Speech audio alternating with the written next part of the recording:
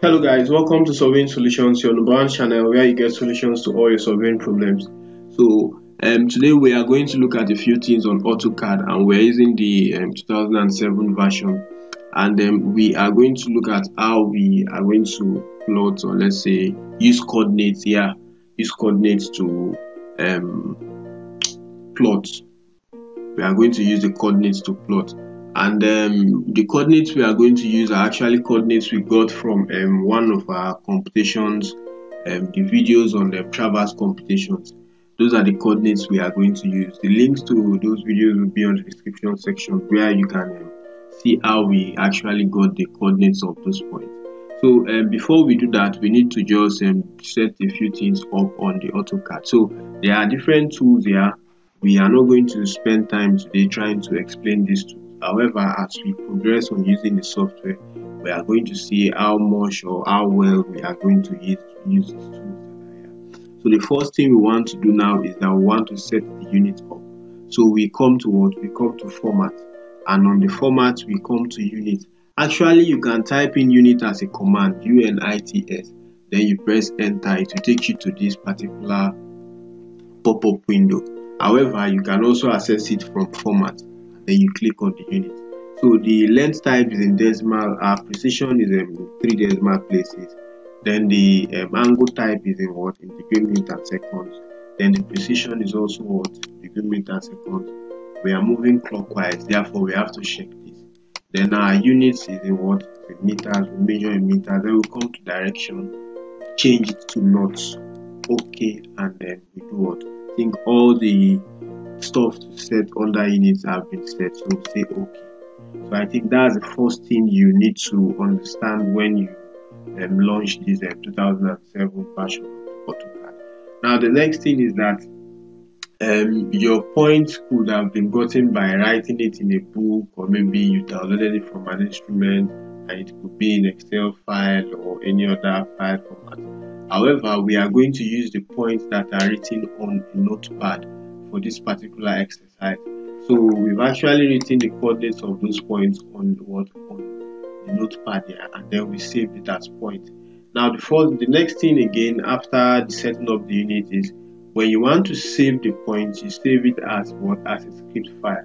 So we've actually written the coordinates of this point and we've saved it as well but we are going to show you how you can also save it on your own system. So you come to file you say save as so when it the next window pops up just choose a particular name maybe the file name you want to use.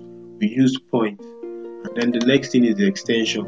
So the extension is script. So we say dot what? Dot scr are we together? Now this dot scr indicates that what? It's a script file. Right? Good. So you now save it. So see it's already on the system it's asking us we are not trying to replace it. We are only trying to show it as maybe as an example. If we still decide to save it again it's still the same word still the same script file. So let's just save it for the purpose of what? Saving it. So we just say yes. So we now know that this particular the coordinates of the points that we picked on site or we downloaded from the instrument that we actually imported to notepad or written on notepad has been saved as what? As a script file for the particular destination on the on the system. So we minimize it. Now the next thing is that we are going to choose what a command. So we are going to choose one of the line tools, which is what, which is polyline. So we haven't chosen polyline, they are asking us to specify the starting point. However, we are not going to use on this first method, we are not going to use the coordinates directly. We are going to run it as a script. So you come to tools, you click on tools, and you come towards you come you come to run script on this run script you click on it the next word the next dialog box will just load. Then you see what the points you've actually saved on your system. So these are the points we've actually saved. This is the file. So we click on it and then we what we open it. Haven't opened it the next thing you're going to do is just press enter on your system. What do I say? Press enter on your system so by the time you press enter on your system, you won't see the points. The points are there, however, you will have to zoom it to your screen. So you say what? You say Z enter E enter. That simply means zoom extent. That simply means what? Zoom extent. I hope you got how we you understood how we got to this point. You go to tools, go to run script, you select the file where you saved your script, the folder or maybe um, name you used to save your script file, and then you bring it to the um, you open it. Next thing you come back to the AutoCAD environment and you press what you press enter twice or your space bar twice. Then the lines that are connecting it might just disappear or whatever the case is. You might not even see the shape on your screen. Next thing you are going to do is what you press Z enter, enter, that's the next thing. So I haven't done that. You now see the shape on your screen. So this is actually the shape of the four-sided figure we actually maybe surveyed on site or as the case may be. Are we together? Good. So that's one method or that's one way of bringing in points onto the what onto the AutoCAD environment. Now this can be for maybe you went to survey land for someone, then later you prepare a plan for documentation and the rest of that. We are not going to discuss about that on this video. We are going to discuss about that on our subsequent videos. Now there is another method with which you can bring in points into this AutoCAD what AutoCAD environment. There are different methods. So let's look at the second method. So we are going to um, let's delete this. So we delete this. The next we still come back to our notepad where we've actually saved our point. So on saving this point, we can still decide to say let's put that command of polyline on the script file.